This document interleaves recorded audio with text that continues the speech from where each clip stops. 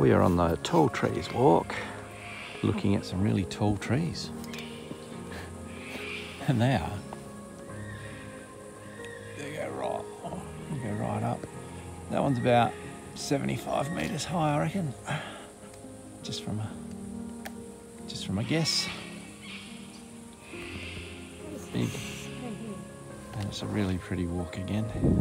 We've now come to a place called Wombat Moor, which is about 1200 metres above sea level. And it just means that the, what that means is that the forest has basically changed and it's now moorlands, which are like open areas of all these low-lying plants.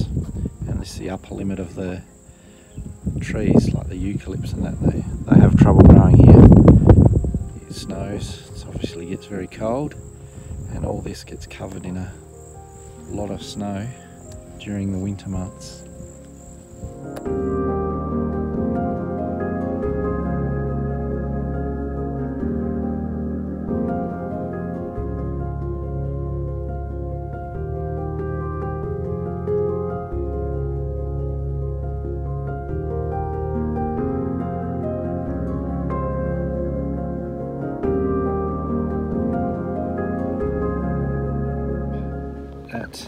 About 1100 metres above sea level. It's a true alpine lake.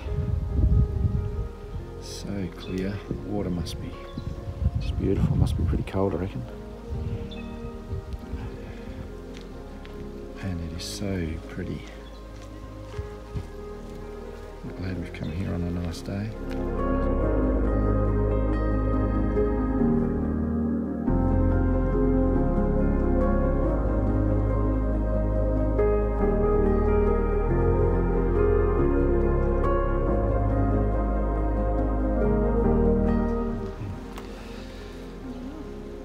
This is the Gordon River Dam.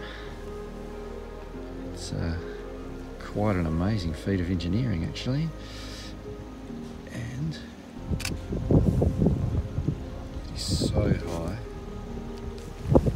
Big curved wall. We're on top of the lookout obviously. Like everything in Tasmania, it seems to be steep and hilly. Out on the Gordon Dam wall, we're doing the Gordon Dam wall walk. Paul's a little bit nervous, doesn't like heights, but it's a beautiful view out this side and scary view out the other side. Don't know how long it is, but it's a relatively thin double walled dam. Don't know anything else about it. Holds back water, something to do with the hydroelectric scheme. So it's about 140 metres high. All the way down there. Double curved wall.